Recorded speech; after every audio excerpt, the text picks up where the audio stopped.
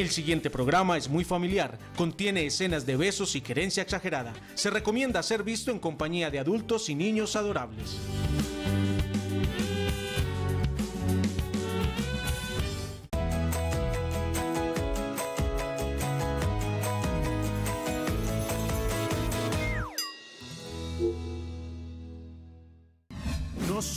Unimos en un arrullo para abrir juntos un camino. Yo te ayudo a empezar el tuyo, tú haces más feliz el mío. Y entre dudas, llanto y caídas, entre risas, besos y abrazos, juntos nos gozamos la vida paso a paso, construyendo desde el amor, paso a paso, para hacernos la vida mejor.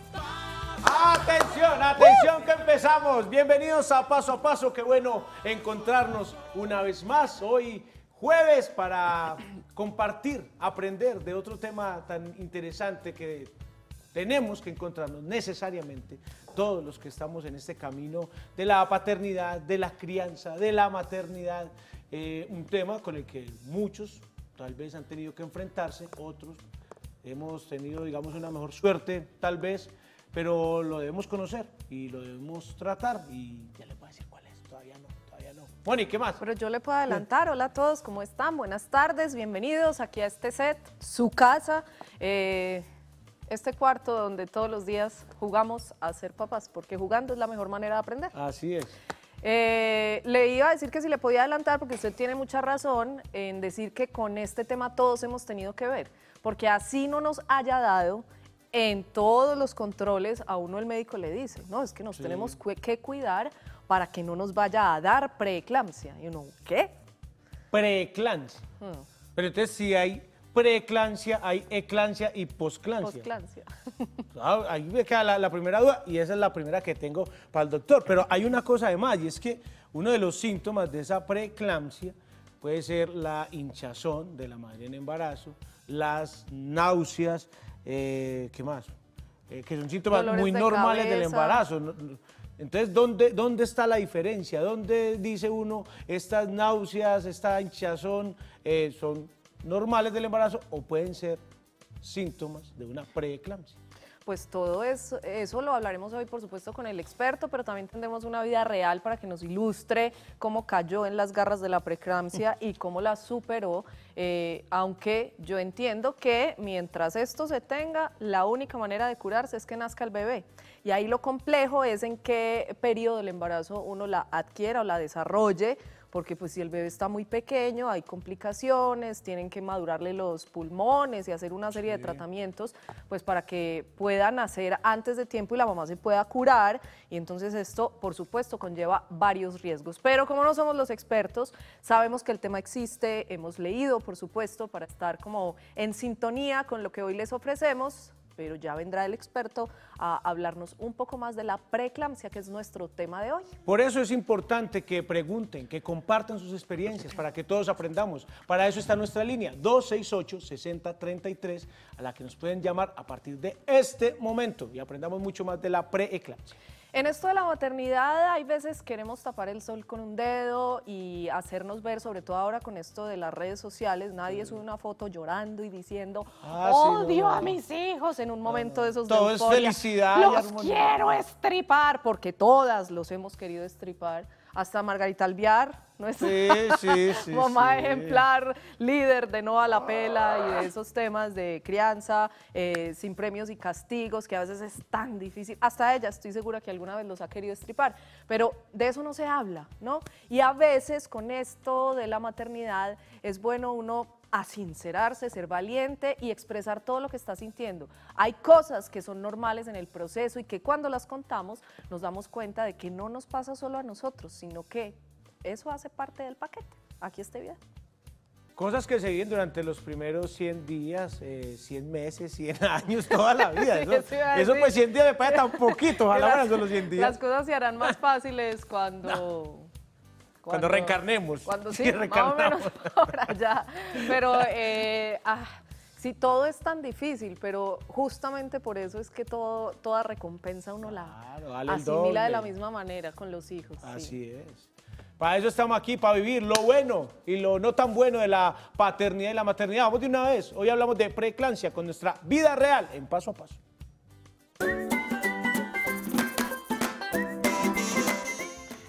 Hoy tenemos con nosotros a Lina Marcela Ortiz, mamá de Antonia, ahí viene Antonia, y además Juan Manuel de 11 años. Yo a Juan Manuel lo voy a poner este para que se siente al lado mío Juan Manuel. Bienvenido a Paso a Paso, ¿cómo estás? Bien. Bien, bien, Me alegra que estés aquí acompañando a tu hermanita y a tu mamá. Bienvenida a Muchas Paso a Paso. gracias. Mamá, cuatro embarazos. dos. Cuatro Hola, embarazos, dos. Sí. Está muy rico ese dedo. Desde que llegó, no ha soltado el dedo. Desde los cuatro meses chupadedo. Dios mío. Tengo como cierta identificación. Sí, yo. sí. Sí. Pero usted lo gastó, se gastó el suyo, ¿no? Pero eran los dos. Los dos. Sí, y como, como me quedaron como con ganas, entonces seguí con las uñas y ahí voy. Ah, bueno. Después de 36 años aquí sigo fresca, todavía falta. Sí, yo estoy preparada para eso. Estás muy bonita, gracias por estar con nosotros, porque la mamá tiene una historia que contarnos con respecto a la preeclampsia. Ese es uno de esos temas que por supuesto teníamos ahí como en el tintero, en la bolsa, que echamos nosotros aquí en paso a paso, pero pues esta vida real nos contactó, nos dijo yo quiero contarles la historia, porque la verdad es que fue un momento muy difícil y quiero compartirla para que otras mujeres estén preparadas. Sabemos que muchas madres en gestación están pendientes de este programa y otras que quizá pasaron por lo mismo necesitan hacer catarsis de ese momento y otras que se le van a enfrentar también deben saber cómo prevenirlo. Y entonces, ¿cuál es la historia? ¿Qué pasó? Eh, la historia es que parte de un segundo embarazo, después de Juan Manuel, eh, todo venía perfecto. 24 semanas, dolor bajo de las costillas, vomitando. Y vámonos para urgencias. Vámonos para urgencias, problema en el hígado. De ahí para atrás nunca habías vomitado, No, nada, nada. ningún síntoma del embarazo. No, bueno, ya nada. 24 o sea, lo normal, semanas. lo Ajá. normal que a uno le da. Eh, luego, luego después de eso, em, los vómitos, vómitos constantes, fui dos veces a urgencias y en la segunda fue que me vinieron pues como a, a correr a lo que era. Me hicieron varios exámenes y salió lo que es la preeclampsia. De una me hospitalizaron. ¿Te habían advertido sobre el riesgo quizá de que eso apareciera? No, pues la verdad no, nunca uno se imagina que eso le va a pasar y la verdad pues tampoco nunca, porque con él fue todo muy Manuel fue normal. todo normal. Todo fue muy Pero normal. ningún control el médico te habló de vamos a hacer un chequeo porque hay que estar antes. atentos. No, jamás. Para nada. Ok. Entonces, ya luego pues de varios días, casi una semana hospitalizada, me, me iban a dar de alta. Ya con, Pero espere, cuando te dijeron eh, esto es preeclampsia, ¿qué? ¿Qué pasó? ¿Averiguaste? ¿Preguntaste? fue- ¿Qué es eso? Yo les preguntaba eso. ¿Con qué entonces, se come? Ajá, entonces ellos me decían que los primeros síntomas era la presión alta, que yo la presenté, eh, el, el edema, cuando uno se hincha pues el cuerpo, pero yo no presenté nada de eso, solo la presión alta y ya.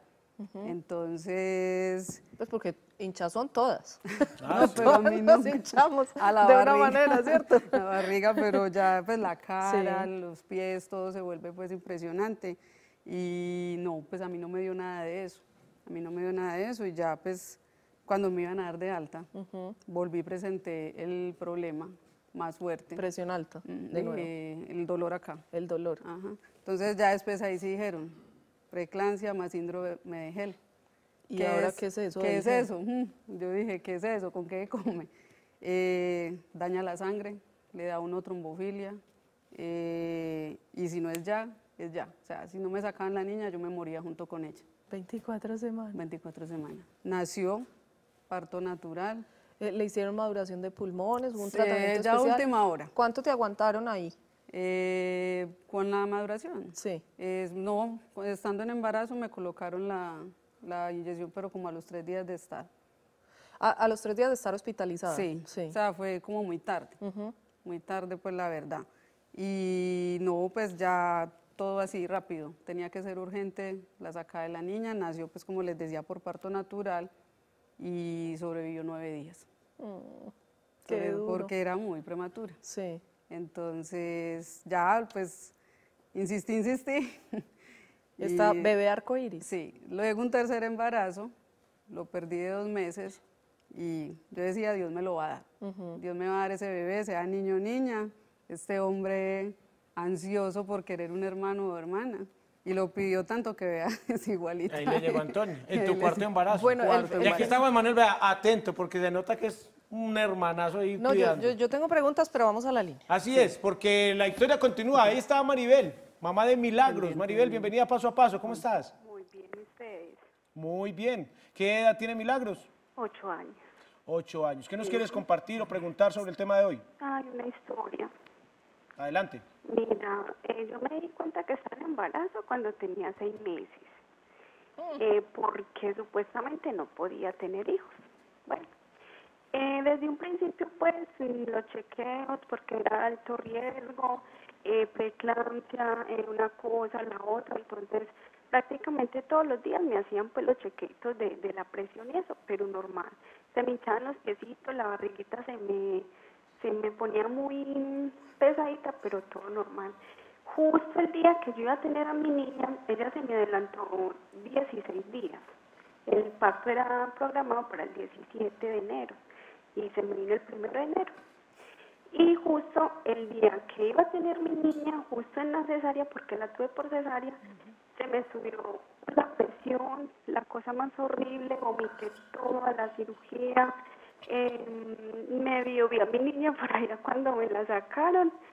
Al otro día fue que desperté mi niña por ningún lado, porque debido a, como al mareo, al vómito, como a la presión tan alta que, que tuve, eh, me sacaron mi niña y se me la tuvieron que llevar. Cuando desperté al otro día, pues llena de aparatos, la cosa más horrible, el susto más horrible, pero gracias a Dios ahí está mi niña, tiene ocho añitos y es la luz de mi vida porque pues decirle a uno no puedes tener hijos después darte cuenta después de seis meses y, y mira gracias a Dios todo salió muy bien Por eso el nombre, Maribel, ¿cierto? ¿cómo? Por eso el nombre de tu hija. Sí señora mi esposo optó por ese nombre sí señora Bueno, pues muy bonito, un nombre lleno de sentido. ¿El diagnóstico de lo que te ocurrió fue preeclampsia? sí señora. Bueno. Luego el, el ginecólogo, pues, cuando eh, después de la cirugía me dijo que era que eh, me había dado preeclampsia justo en el momento de, de- de tener a mi niña.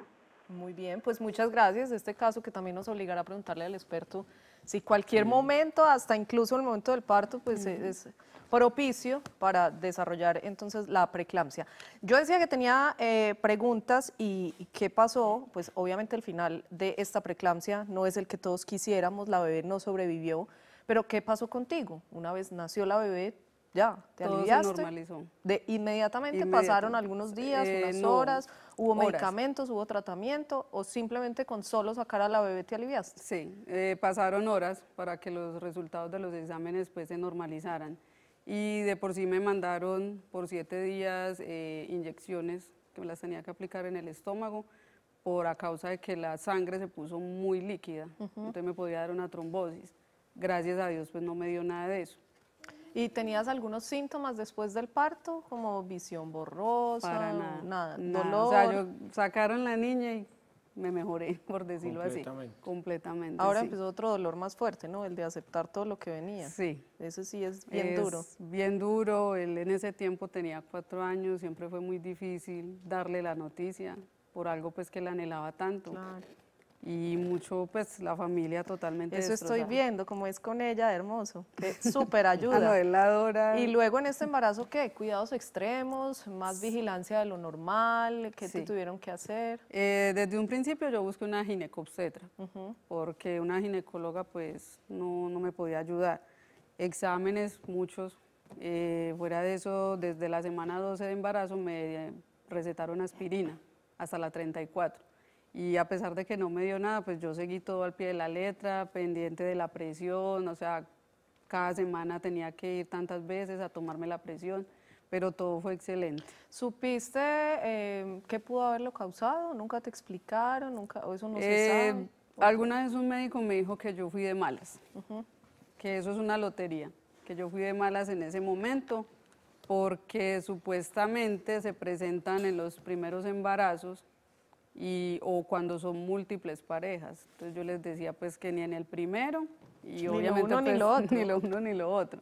Entonces Ya yo fui como investigando por mi cuenta, yo sola, y de por sí también descubrí una chica en Argentina que le pasó lo mismo y son muchas, muchas mamás las que les pasa. Y hago partícipe de un grupo pues en el Facebook.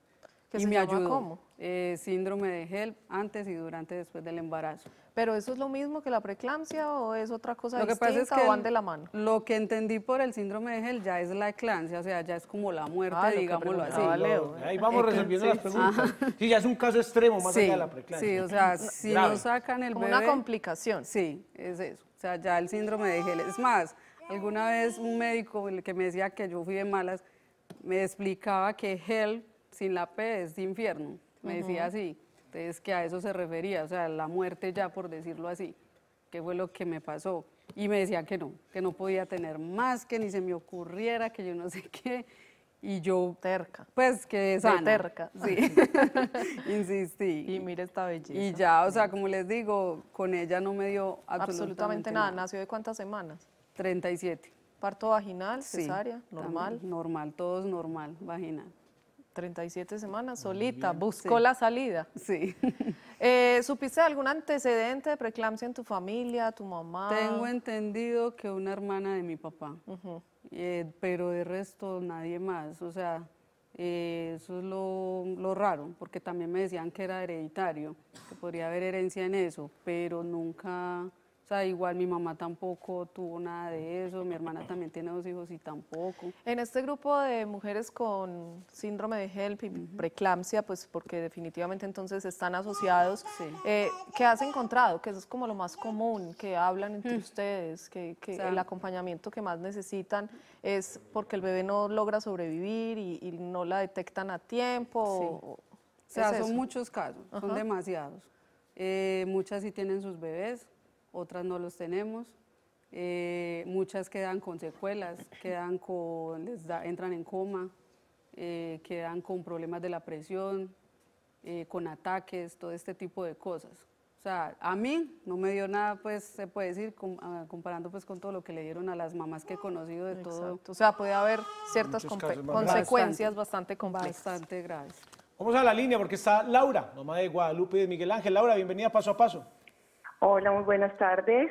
¿Cómo estás? Me alegra mucho poderme comunicar con ustedes. Y a nosotros escucharte. ¿Qué nos quieres preguntar o compartir, Laura? No, les quiero compartir mi experiencia. Eh, yo tuve hace tres meses un embarazo gemelar. Eh, iba todo pues muy bien. Cuando de un momento a otro eh, se me empezó a subir la presión alrededor de la semana 30, eh, controlada con medicamentos normal. Eh, ya en la semana 34 me fui a hacer un chequeo y de un momento a otro la presión supremamente alta, 160, 100 y en el entonces me tuvieron que adelantar desembarazarme y con los bebés. Y después del parto eh, me, me dio preeclampsia una preeclampsia supremamente alta eh, de 3.700 algo no recuerdo y estuve nueve días hospitalizada entonces y, y totalmente asintomática. O sea, y fue Y después todo el del mundo me parto. pregunta dime Después del parto. sí después del parto O sea, la que Leo dice la posclampsia. Cancha era, vamos a preguntar. Puede ser. Pues gracias por exponernos tu caso. Eso ampliará, por supuesto, nuestra conversación con el experto. Muchísimas gracias. Después de haber pasado por esto, sobre todo de seguir leyendo, investigando, estar en contacto con eh, madres que de una u otra forma están relacionadas con nuestro tema de hoy, eh, ¿cuál es como el mensaje para las mamás? Eh, Pues, con- sobre todo con respecto al cuidado, hay, hay unas que son muy tranquilas, no se hacen los chequeos, no se hacen los controles, y, y mire, hay muchas, por ejemplo, en el caso de hoy, la preeclampsia asintomáticas. Sí, eh, no, pues que cuidarse mucho, pues desde un principio. Y la verdad uno no se programa como para tener un hijo. Hay mujeres que por deporte, pues por decirlo así, o la ansiedad, no sé. Yo, por ejemplo, con Antonia, yo me preparé mucho.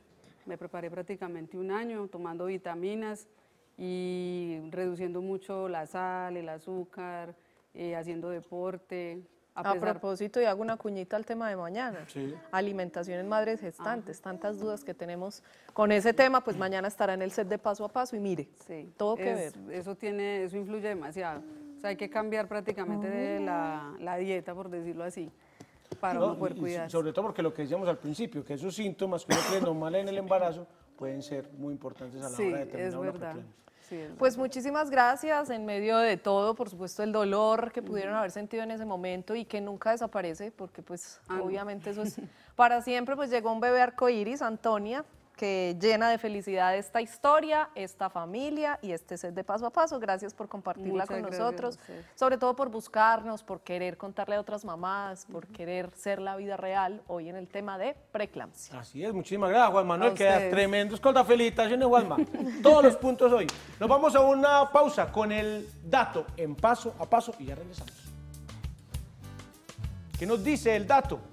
Aunque no siempre se presentan síntomas, la preeclampsia puede ser muy peligrosa para ti y para tu bebé, incluso si te sientes perfectamente bien. Así que a estar muy atentas y atentos. Ya volvemos en paso a paso.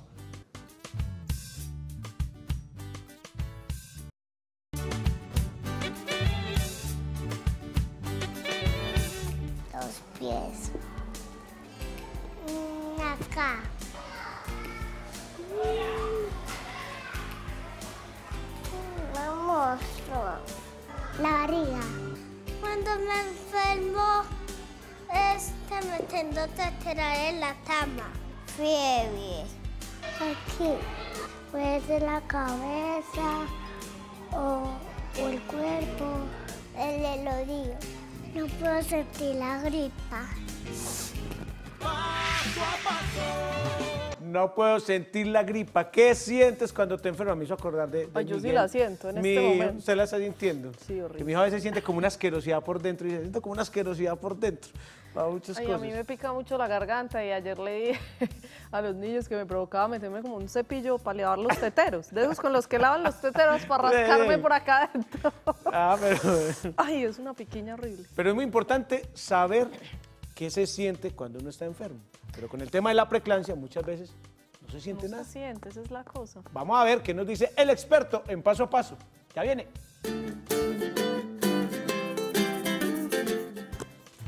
Hoy nos acompaña el doctor Camilo Guerra Palacio, ginecobstetra. Doctor Camilo, bienvenido. Qué bueno tenerlo por acá paso Doctor, a paso bienvenido. nuevamente. Muchas gracias por la invitación. Es este otro de nuestros fieles visitantes, asiduos expertos en paso a paso. Muchas Ah, es gracias. que hay que aprender de los por que siempre saben. Moni, prestarse. Hay que aprender de los que es saben. verdad. Hoy hablamos de la preeclampsia. ¿Qué es eso? Bueno, la preeclampsia es una enfermedad muy grave. La preeclampsia causa el mayor número de muertes maternas en Antioquia, en Colombia. Y causa el mayor número de madres con complicaciones graves. Y también es una de las causantes de mayores muertes de recién nacidos. Eh, es una causante importante. A ver, la preeclampsia causa muchos partos pretérminos porque la única manera de aliviar una preeclampsia es sacando la placenta. O sea, sacamos el bebé, sacamos la placenta y ahí empieza a mejorarse la preeclampsia. Entonces, de acuerdo a lo grave que sea la preeclampsia, hay que terminar el embarazo. Entonces, no es lo mismo la señora que se le diagnostica preeclampsia a las 36 semanas que a la que le diagnostica a las 25. La que se le diagnos- diagnostica a las 25 semanas, la posibilidad de que ese bebé sobreviva es muy bajita.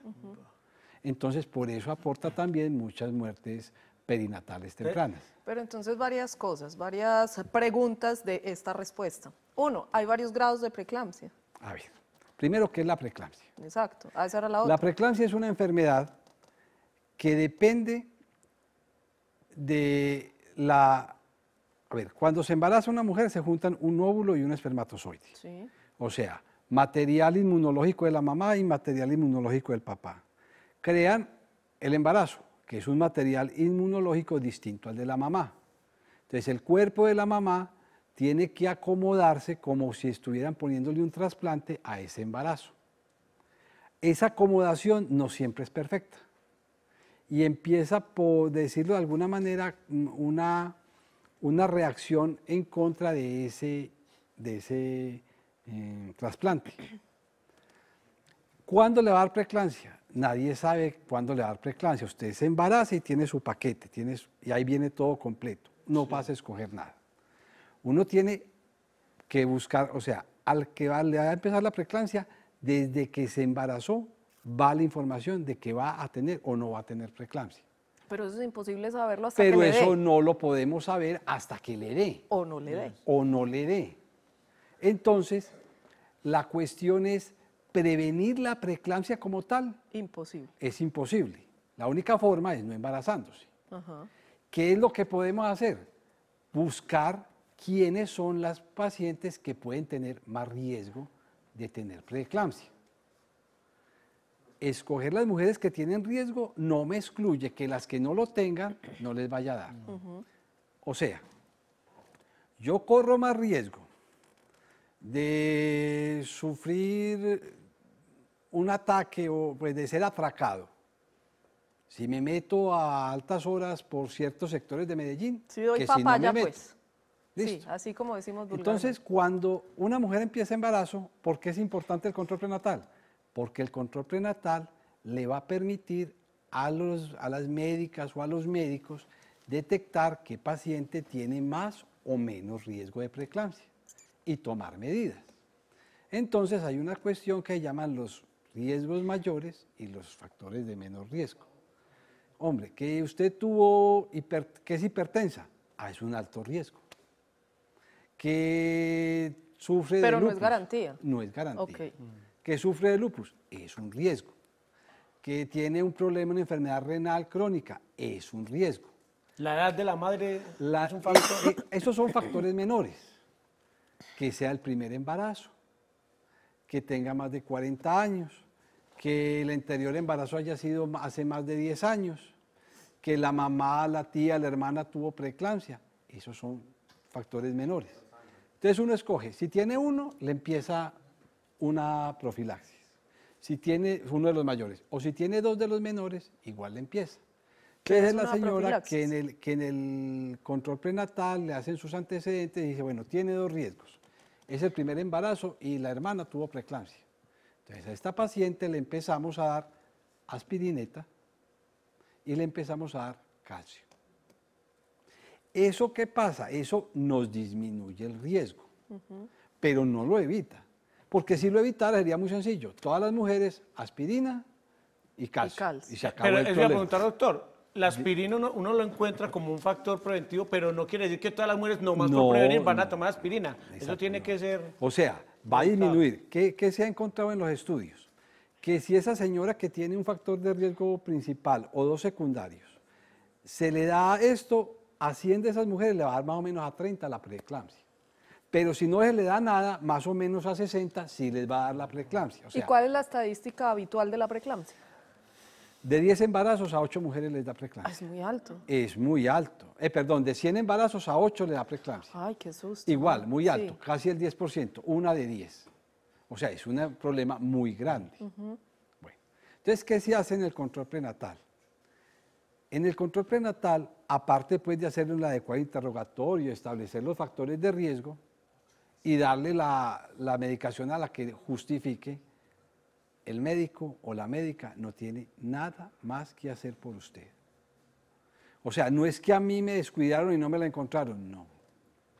Yo le hago el chequeo y entonces empieza a ir al control prenatal, uno va chequeando que el aumento de peso no sea exagerado y va, a hacer los exámenes de control prenatal. Lo que se pide un control prenatal está establecido mundialmente qué exámenes se hacen. Si yo estoy yendo puntualmente a mi control prenatal, me están chequeando la presión, puedo encontrar el principal signo, que es la presión alta. Hay unos síntomas. Entonces está la cefalea. En el embarazo hay muchos dolores de cabeza. Pero ¿cuál es la cefalea que me va a preocupar? Hombre, que me dio el dolor de cabeza, me tomé dos acetaminofenes Y no se y no se me quitó. Eso me preocupa.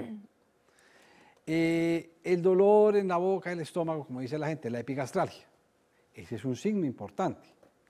Pero hay gastritis, hay todo eso, que entonces tenía el dolor, que la gastritis, se tomó el alimento, se tomó el antiácido y se le mejoró. No era ese el problema. Nada le sirve. Sospecho. Nada le sirve, hay que consultar.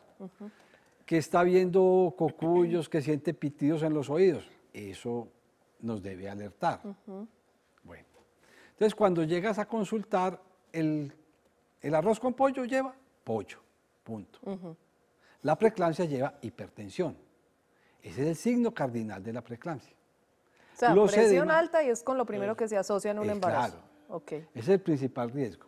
Los edemas, los edemas, los pies edematizados por la tarde, después de que han trabajado todo el día, no es problema. Pero si yo, si la señora despierta con las manos edematizadas, abotagadas, hombre, hay que ir a consultar. Que, le que la consulta, le hacen la presión, le hacen los exámenes, no era nada, listo, pero se consultó. O sea, hay que tener como estar pendiente de cosas que me deben motivar a ir a consultar. Como decimos los paisas, pispicia.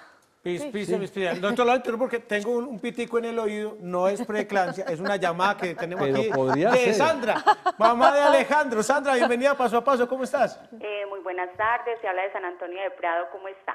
Muy bien, qué bueno escucharte. ¿Qué nos quieres contar o Sí, preguntar? mira, para comentarte, pues que tengo un hijo de 17 años y cuando estaba pues en embarazo de él, eh, tuve preeclampsia, sí, pues la preeclampsia, eh, los síntomas primero sí fue totalmente principios de preeclampsia y fue una hinchazón total en mis pies y en mis manos que incluso hasta los zapatos ni me servían.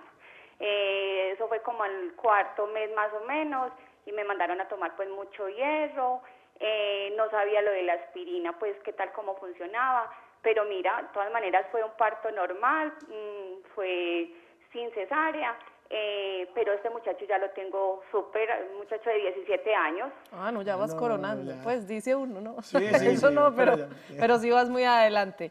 Listo, sí. Sandra, muchas gracias por tu experiencia. Eh, que aquí pues tenemos al experto como para preguntarle un montón de dudas que nos asaltan con respecto a este tema de la preeclampsia. La primera que me surge a mí es si al que le van a dar le guarda con este tema de la preeclampsia y si le va a dar, le va a dar. Pero una vez se desarrolla, se puede controlar, se puede manejar, hay algo que como que la minimice o por lo menos la duerma un ratico mientras el bebé madura o necesariamente hay que madurar ese bebé o qué es lo que se hace. La situación es que, como todas las enfermedades, no a todas las personas les da igual. O sea, la gripa que tienes no le da igual que la que le va a dar a los hijos. Entonces, hay pacientes que se les hace el diagnóstico de la preeclampsia, sin embargo, esa preeclampsia no está severa. ¿Por qué no está severa? Porque las presiones arteriales, si bien están altas, no están demasiado altas o que responden a un tratamiento con las drogas antihipertensivas fácilmente. Eso responde a, a mi pregunta anterior de si hay ciertos grados de preeclampsia. hay, hay ¿sí? preeclampsia, una preeclampsia moderada y una grave, Solamente, solamente. o grave o moderada. La moderada es la que te permite darle tiempo. Entonces la paciente que entonces uno se va haciéndole, ¿qué exámenes? Se va- es paciente hospitalizada, eso queda claro. Le dio preeclampsia, estás hospitalizada. De una. De una. Lo Porque que sea, ocho meses, siete no, meses. eh, ponga- ponle tres, cuatro semanas máximo. Entonces empezamos a controlar la presión y se le van dando antihipertensivos. Pero no es como la mamá que es hipertensa y se toma 10 drogas para la presión. No, aquí se usan dos antihipertensivos. Pasada esa barrera, ya eso, no, ya eso es grave.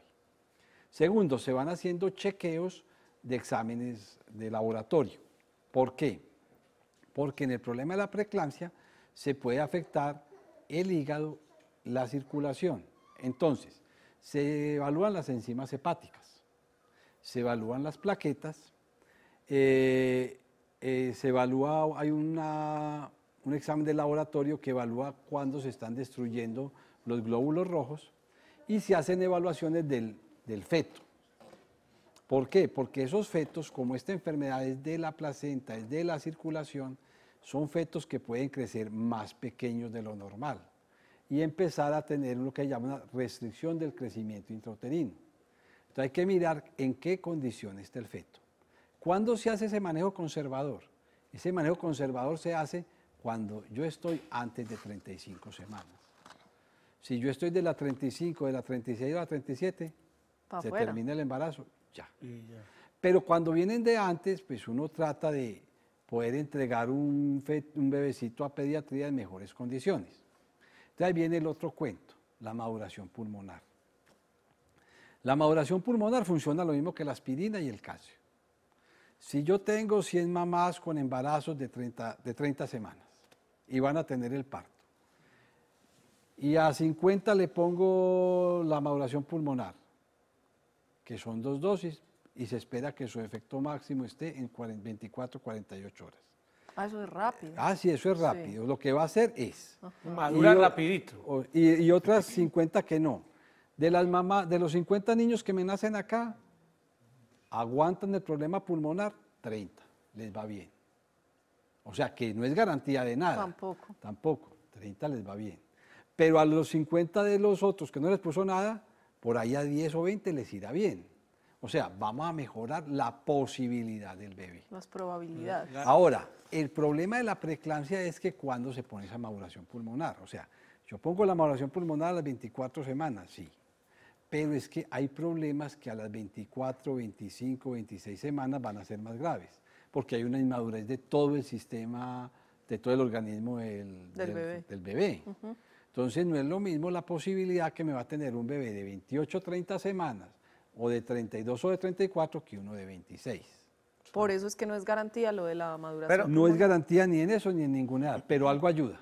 Pero me surge una pregunta, doctor. ¿En, cuál, qué, ¿En qué periodo del embarazo debe estar uno más atento a eso? ¿La preeclampsia puede dar en cualquier momento del embarazo? ¿O hay un trimestre, un periodo en el que uno debe estar más alerta? O sea, se formó el embarazo y ya quedó allá la información.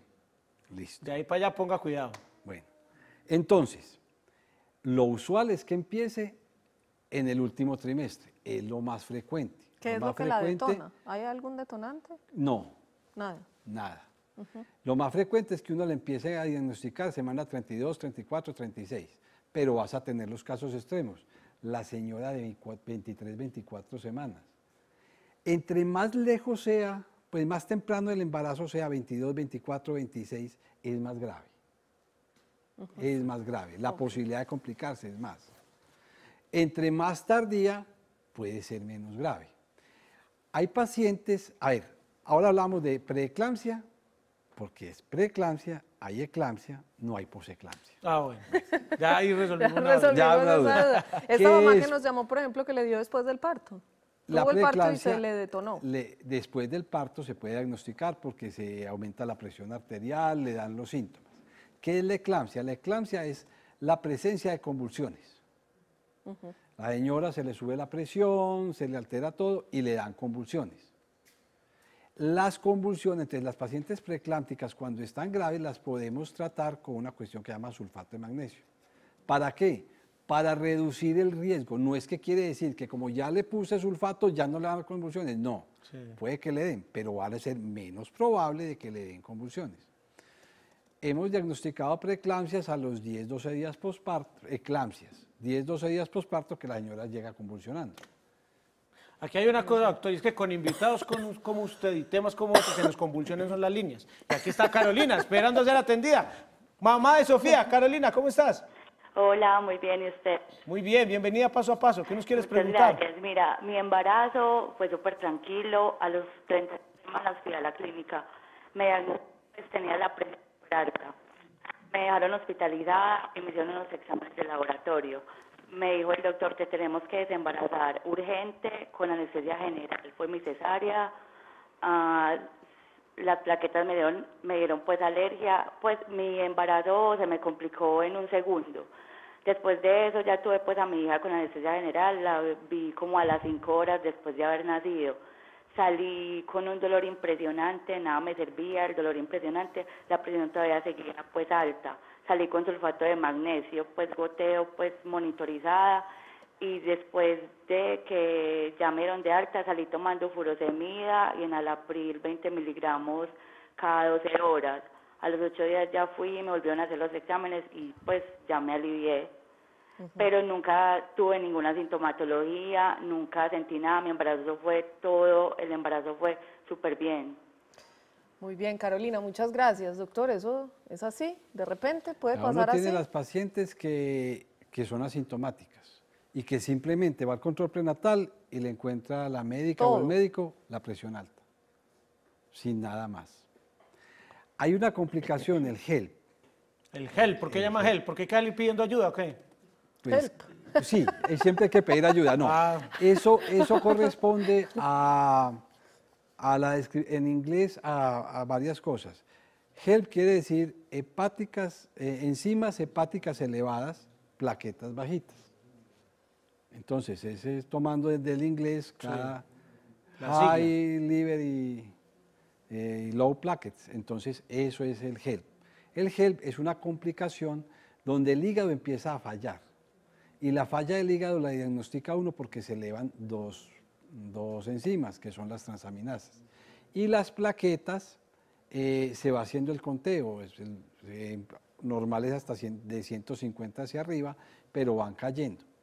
Hay un problema. Hay mujeres que desarrollan unos síndromes de HELP también moderaditos, que se subieron un poquito las, se alteraron un poco los exámenes, pero tienen los criterios de síndrome de HELP. Y esas pacientes usualmente salen adelante. Pero hay pacientes que tienen síndromes de HELP horribles, que usted con todos los juguetes, con unidad de cuidados intensivos, con banco de sangre, con toda la medicación que, se dispone, no la saca. Doctor, eh, digamos que con esto pues, de la preeclampsia, que es el tema como básico, hemos hablado mucho eh, como con los efectos que tiene esto sobre el feto, sobre el bebé. Eh, y ah, comenzamos hablando de que es una de las principales causas de muerte de madres gestantes. Eh, ¿Se eh, ponen a veces como a escoger o es la vida del bebé o es la de la madre? Que pasa o es qué que pasa hay ahí? dos cosas. Escoja entre el bebé y la mamá, eso es, eso es un punto especial para darle dramatismo a las novelas. Nada, Nada más, pasa, nada más. nunca pasa. No, hay una cosa. Lo principal es la mamá. Aquí no cuenta nadie. La mamá es la que cuenta. No más. Aquí no se toman medidas sino por la mamá. Perfecto. ¿Por qué? Porque el que tiene 25 semanas, si se muere la mamá, no hay nada tampoco. O sea, hay que ser. o sea, Ujú. Eso es solo para las novelas. Ok. Es la condición materna la que prima para tomar la conducta. Y uno no se puede quedar pensando, no, es que el bebé está muy prematuro. No, no, no, porque le muere la mamá. Ok, es que yo tengo varias preguntas. Porque entonces, esa carga genética que está ahí y que en algún momento va a detonar, eh, puede acelerarse, ahora decíamos, no sabemos cuándo, puede acelerarse con malos hábitos como el consumo excesivo de sal, una mala alimentación, eh, y por el contrario, aún sin tener la carga genética, todos esos malos hábitos, el comer en exceso durante el embarazo, el alimentarse mal, eh, puede ser un detonante. No, mire, el problema es cuando se da el que tiene, el que viene con la carga genética. El embarazo, que la relación entre la inmunología del embarazo y la de la mamá no van sincronizadas, eso se va a establecer tempranamente en el embarazo. Y se va a afectar es la forma en que crecen los vasos placentarios en el sitio de inserción. O sea, si los vasos placentarios estaban bien, se desarrollaron bien porque no había ningún problema de incompatibilidad inmunológica, la señora se puede parar en la cabeza y no le va a pasar nada. Nada. Nada. Absolutamente. Pero la otra que hizo, que viene con ese eh, factor adverso, que no logró hacer una buena mm, organización de la placenta por el problema inmunológico, la puedes tener en una cajita de algodones y de ello no va a depender el final. Uno sí va a usar el... eh, uno usa eh, las drogas profilácticas es porque uno no sabe. Pero si pudiese retardarse su aparición con buenos hábitos No, o tampoco. no se te va a retardar. Nada. Nada. Ah, eso es una lotería ahí. Eso es, vea, y volvemos a un tema que, que hablamos a través del aborto. Es como el cuento del aborto. La mujer que va a abortar, aborta. Cargue o no cargue bultos, monte o no monte a caballo, esté quietecita. Si va a abortar, el aborto no depende de lo que haga la señora. La preeclampsia no depende de lo que haga la señora. Solo hay una cosa, digamos, las pacientes diabéticas pueden tener un factor mm, que predispone un poco, entonces listo, vamos a controlar el peso, a evitar que nos dé una diabetes gestacional. Pero eso no es garantía de nada. Ok, este La única garantía complejo. es, hacemos control prenatal. En nuestra ciudad el control prenatal es de muy buena calidad. Eso sí, pues usted se va y usted coge un control prenatal hecho en metro y usted ve esos carnet y ve esa gente que es juiciosa, es un control prenatal excelente. Ella tiene que hacer control prenatal. Dos, el control prenatal nos sirve para buscar los factores de riesgos e intervenirlos. Y tres, nos permite diagnosticar a tiempo, educar a la mamá en los signos de alarma. Y crucé los dedos. Tengan el control prenatal y tengan el control del televisor ahí quietico, no lo mueva porque ya volvemos en paso a paso, vamos a un corte muy cortico y ya seguimos hablando de preeclampsia. El prenatal, el parental, el del televisor, tantos controles. Dios mío, Controle, qué more, descontrol. controle, controle, controle.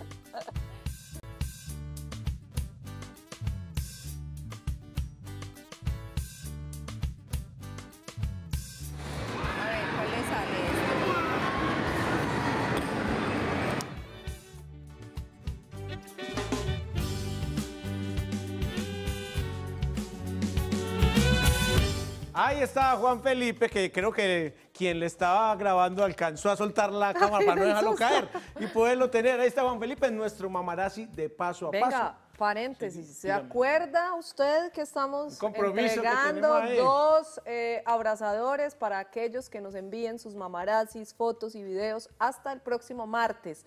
Si no los han hecho, cosa que me parece curiosa, rara, sospechosa de una mamá que no tenga videos ni fotos de sus hijos en el celular, pues les vamos a dar este puente festivo pues para que se surtan y nos surtan a nosotros para poder entregar estos mamarazis aquí al aire y ustedes se vean en la pantalla, vean a sus hijos, se reúnan en familia. Es una sección que nos encanta y que no queremos dejar perder, pero estamos cortos de mamarazis. Esperemos, esperemos que se pongan al día y nos envíen todos sus videos y fotografías. Seguimos hablando de preeclampsia y tengo, doctor, una pregunta, porque leyendo sobre el tema aparecen como los síntomas, lo de la hipertensión, pero leí algo que es que la proteína en la orina. Uno cree que la proteína es una cosa buena, tenga donde la tenga, en la orina, en cualquier parte. ¿Cómo funciona el tema ahí? ¿Qué es lo que pasa? Bueno, lo que pasa es que eh, el riñón también se afecta por la preeclampsia. Entonces la sangre va circulando por el riñón y el riñón va sacando muchas sustancias eh, para poderlas desechar. Normalmente eh, las, por decir algo, por los huequitos por donde filtra el riñón caben los cubitos chiquitos pero los cubitos grandes no caben. Entonces las proteínas son cubos grandes que no caben por los huecos chiquitos. Cuando el riñón se enferma por la preeclampsia, No los, hue- los huecos se vuelven grandes. Entonces también caben las proteínas. Ah, porque buena- Entonces buena eso le va diciendo, si en la orina hay proteínas y están aumentando, dice, tengo daño renal. Pero las proteínas como tal no son un factor de decir es más grave o, no es, me- o es menos grave. Porque el hecho de que la señora al medir en, en la orina de un día se haga el promedio y digan hay dos gramos de proteínas en, en el litro y medio de orina de la señora o hay solo medio gramo, va a ser lo mismo. Hay un daño renal. A nosotros lo que nos va a determinar la urgencia de terminar un embarazo son las cifras de presión arterial, los signos de que puede que haga una eclampsia, que esté a punto de convulsionar, o los, o los signos que me digan está fallando el, el hígado, eh, se consumieron las plaquetas, se destruyeron los glóbulos rojos en la circulación. Pero doctor, finalmente, ¿cómo se diagnostica? ¿Hay que hacer un examen de sangre o solo con la presión ya el médico dice no, no, no. tiene Usted preeclampsia? cuando hace el examen de, toma la presión y junta la- los Sospecha, síntomas de los sí. pacientes. Presión alta, entonces ya se empieza y dice, síndrome hipertensivo del embarazo. Vamos a ponerle apellido. Entonces empiezan los otros exámenes que se toman inmediatamente. La de la orina dura 24 horas. Pero yo tengo una paciente que me llega con los síntomas no muy floridos, eh, está la presión alta y le hago el examen de orina y me sale negativo, no me descarta. ok. Me dice, por ahora no, pero puede que apenas vaya a empezarme a aparecer la orina. Por la señora que no tiene las proteínas alteradas, eh, se deja hospitalizada para seguirla chequeando, o sea, es un riesgo. Cuando han perdido muchas proteínas, se hinchan mucho. Doctor, ¿qué pasa en los casos en los que el bebé sobrevive? Que ojalá fueran todos, pero ya usted nos explicó, pues con el tema de la maduración y demás, que hay ciertas probabilidades, pero que tampoco es garantía. En los casos en los que los bebés sobreviven, ¿hay algún efecto adverso en ellos, en su desarrollo, eh, por haber la madre sufrido de preeclampsia? Bueno, el bebé nació, por decir algo, debía nacer pesando 2.900 gramos y solo nació pesando 2.000.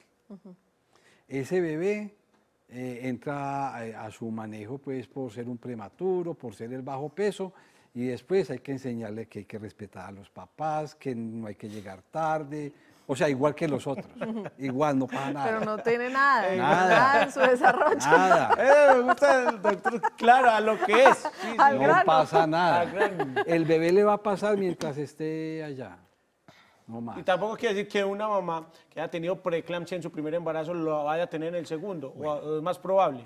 A ver, eso es un factor de riesgo mayor. O sea, si usted ya tuvo preeclampsia en el primero, tiene más posibilidades que la vecina de volver a presentar la preeclampsia. Entonces, yo no le puedo decir a la señora que no va a volver a tener preeclampsia, pero tampoco le voy a decir que la va a tener necesariamente.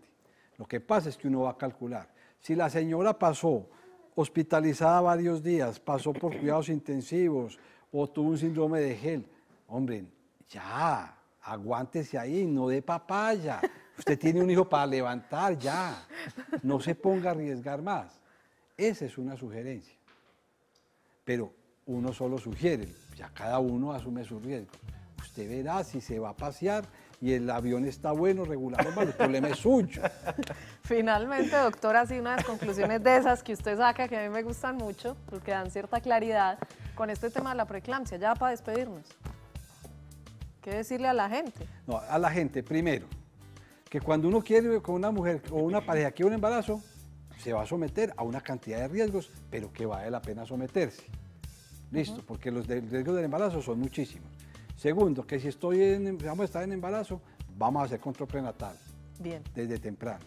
Tercero, vamos a seguir las recomendaciones. Y cuarto, vamos a estar pendientes de los síntomas de alerta. No nos podemos empelicular porque es que el 90% de los embarazos son totalmente normales. Bien, buen dato, para Sí, cerrar. o sea, usted tiene, usted no puede pelicularse con el embarazo. Sin embargo, es algo que existe, que está en la bolsa de paso a paso y que pues es más frecuente de lo que uno quisiera. Ya entendimos un poco de qué se trata, de qué es lo que ocurre, cuáles son sus síntomas para que estén muy pendientes y eh, consulten a tiempo los controles prenatales. Por favor, no se relajen con eso, que no solo la preeclampsia, un montón de cosas se pueden evitar, pues la preeclampsia no, pero sí, se puede tomar medidas, aquí me hace carita. Eh, entonces, pues para que estén como al día con eso, es nuestra responsabilidad. Muchas gracias, doctor, muy claro, como siempre, a ustedes por habernos acompañado, ya les anunciamos el tema de mañana, alimentación en madres gestantes, un tema que a todas nos debería interesar muchísimo y sé que así es, así que las esperamos y los esperamos porque... Usted no es que siempre dice que saca la plata al mercado. No, a todos se los toca. Pe- Pero, no, es que ese cuentico de que, por ejemplo, que para el embarazo que hay que comer el doble, si será verdad. Coma por dos. Que hay que comer por dos. Con Ah, ese manto a mí. Vamos a ver, vamos a ver. Nos vemos mañana paso a paso. Los esperamos. Chao, feliz tarde.